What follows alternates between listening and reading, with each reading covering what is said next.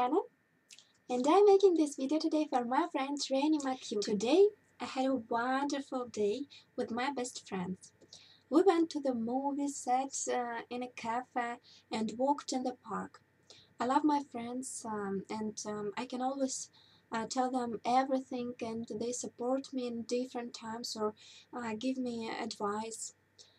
So in general, I wish you all have friends like mine.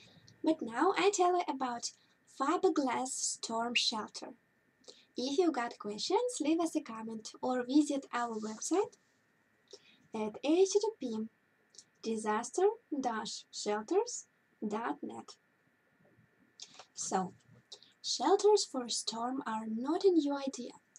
When a storm hits, a fiberglass storm shelter is the place to be.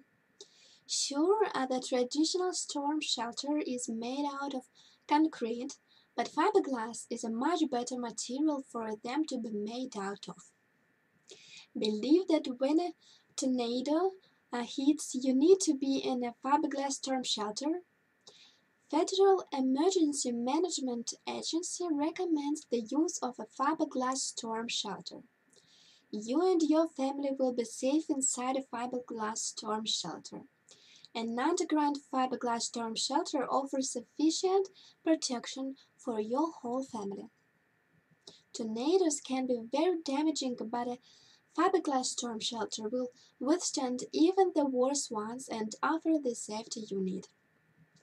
A fiberglass storm shelter has stairs covered in a carpet that will protect those entering quickly from falls. Steel storm shelters and concrete storm shelters cannot compare with a fiberglass storm shelter. You can easily view a fiberglass storm shelter online and click on a picture to get a better view. These storm shelters are molded to just the right size and their clean design makes a nice place to wait out any storm. So thanks so much for watching my video. Don't forget that we've got a lot more content on our website at http disaster-shelters.net and I hope to see your questions and uh, answer all of them. So have a good day, be happy, love and craft. I love you all guys so much. See you soon.